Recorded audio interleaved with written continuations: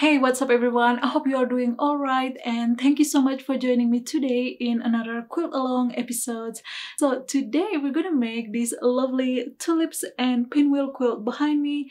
This is such an adorable quilt and a great stash busting project. The finished measurements of this quilt is approximately 58 and a half inch by 58 and a half inch so it's a square quilt and for the fabric you will need approximately 10 fat quarters 3 dark, 3 medium, and 4 light color. You will also need some background fabric. I use this off-white color and you will need about 1 and 3 quarter yard.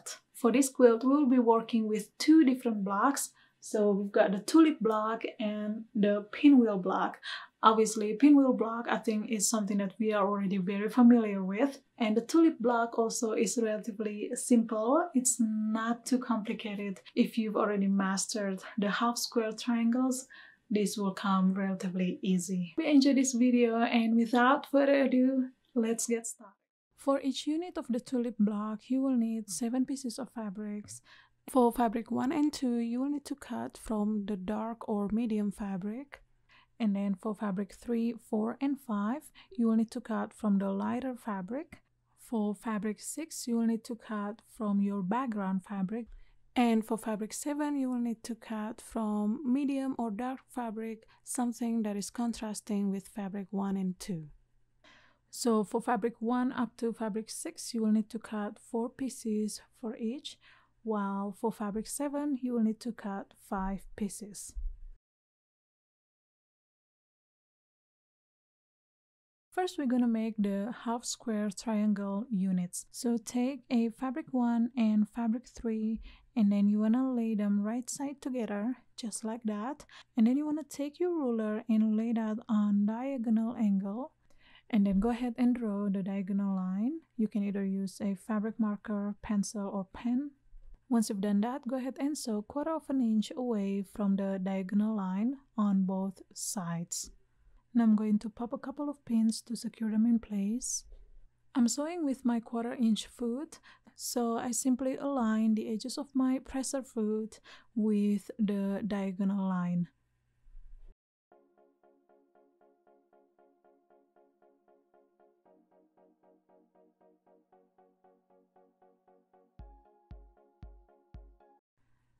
And once you've done sewing, you want to cut the diagonal line and you should end up with two half square triangles.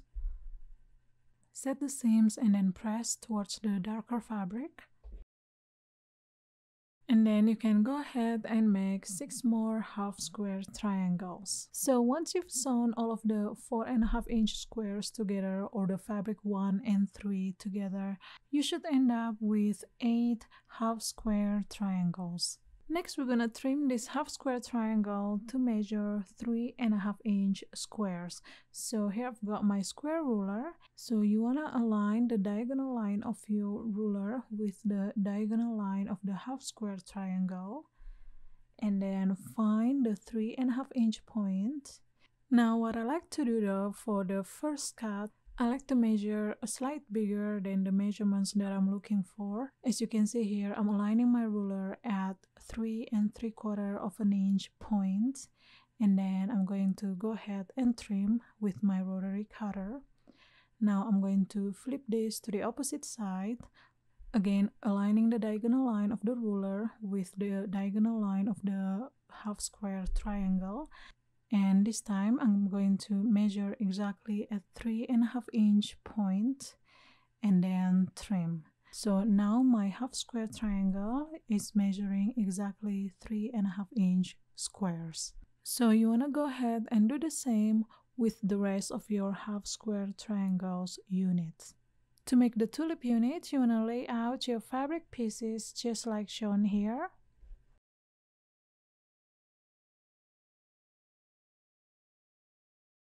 Now I'm gonna go ahead and start sewing, starting from fabric 2 with the half square triangle. And of course, we're gonna use quarter inch of seam allowance throughout the piecing. Now press the seams towards fabric 2 or away from the half square triangle.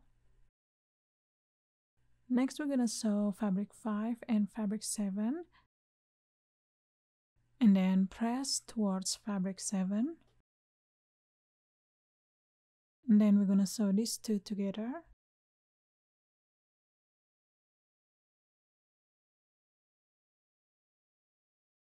And then press towards fabric 4 next we're going to sew these two together. And then press the seams away from the half square triangle. Next, we're going to sew the upper and the lower rows together. So you should be able to nest the seams at this point. If you want to, you can pin right on the seams just to make sure they're not shifting.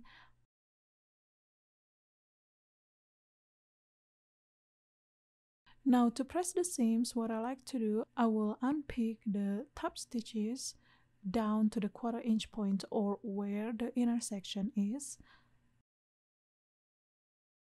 and then I'm going to open this up and with my finger I'm going to push one seams up and then the other seams down and then press the wrong side just to keep everything in place for now and then press the right side so I like to gently push the seams and make sure everything is nice and flat there. So your tulip unit should now measure six and a half inch squares. Now go ahead and make three more of these, so you should end up with four tulip units. To assemble the block, you want to arrange your tulip units with fabric 6 and the one piece left from fabric 7, just like shown on the screen right now.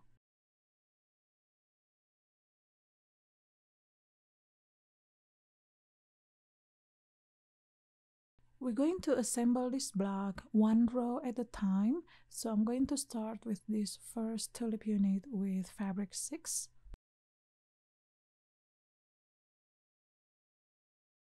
and then I'm going to press the seams towards fabric 6. I know it may be scary for some people because I'm pressing the seams towards the light fabric. However, I kind of prefer less bulk and I really never had a problem with it. Now I'm going to sew the second tulip and then press towards fabric 6. So we're basically going to press everything towards fabric 6 or the background fabric throughout the piecing of the block.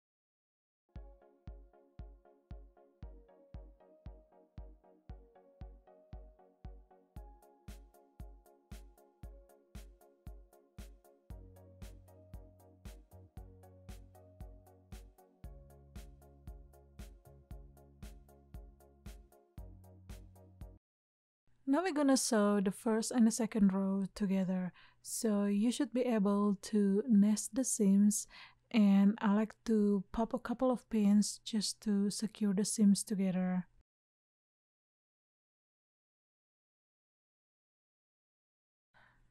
And then press towards the second row.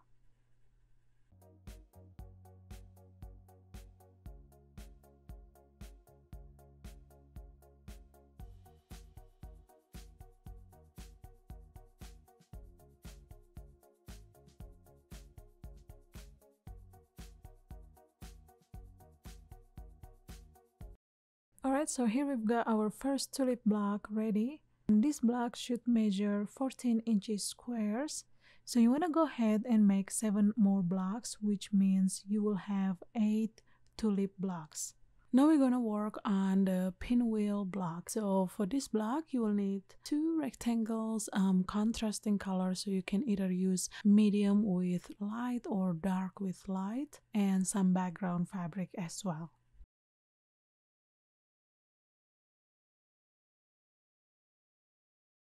So you want to make four half square triangles exactly the same way um, when we did the tulip blocks. So you want to take fabric 1 and 2, lay them right side together, draw a diagonal line and then stitch a quarter of an inch away on both sides of the diagonal line. Then square them up to measure three and a half inch squares. Now lay out the half square triangles to make the pinwheel block just like shown on the screen right now.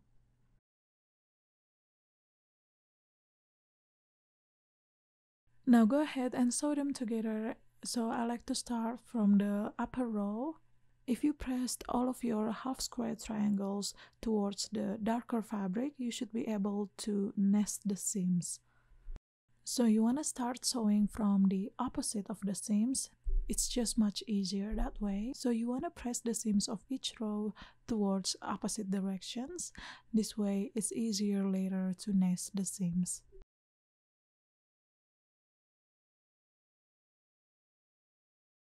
Now sew the rows together.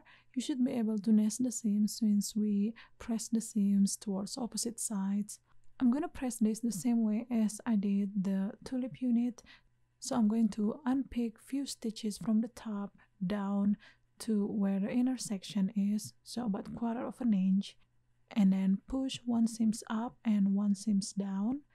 You may not be able to see it clearly here, but there should be a miniature pinwheel right on the center. Now we're gonna lay out fabric 3 and fabric 4. So we're gonna start by sewing fabric 3 and then press towards fabric 3.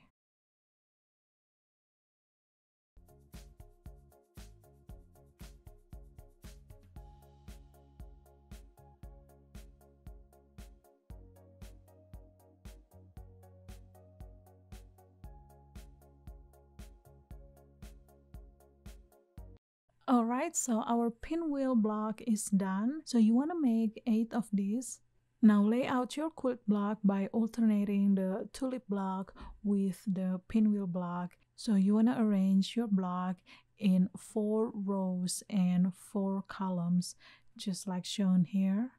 And once you're happy with the layout of your quilt blocks, go ahead and start piecing them together. So here I've already grouped my quilt blocks according to each row and I label them from the first up to the fourth row and then sew my quilt block one row at a time.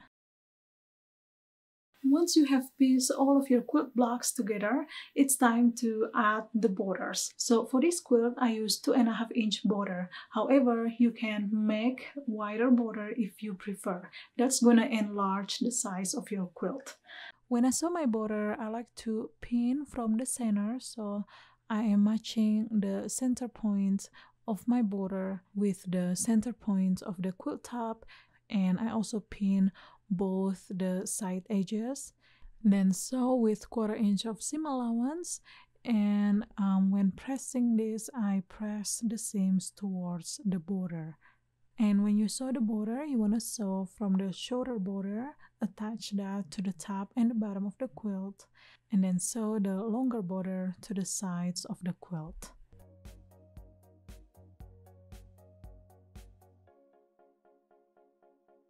Once you've sewn the border together and your quilt top is ready to go, go ahead and sandwich your quilt top with the quilt batting and the backing fabric and then quilt as you desired. So you can do free motion quilting, walking foot quilting, or hand quilting. For this quilt, I did free motion quilting.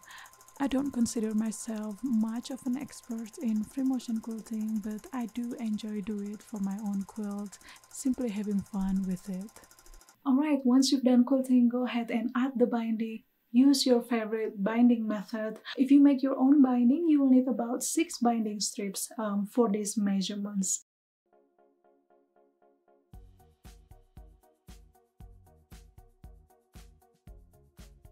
That's all I have for you today guys. Thank you so much for watching and I shall see you next time with another fun sewing and quilting projects.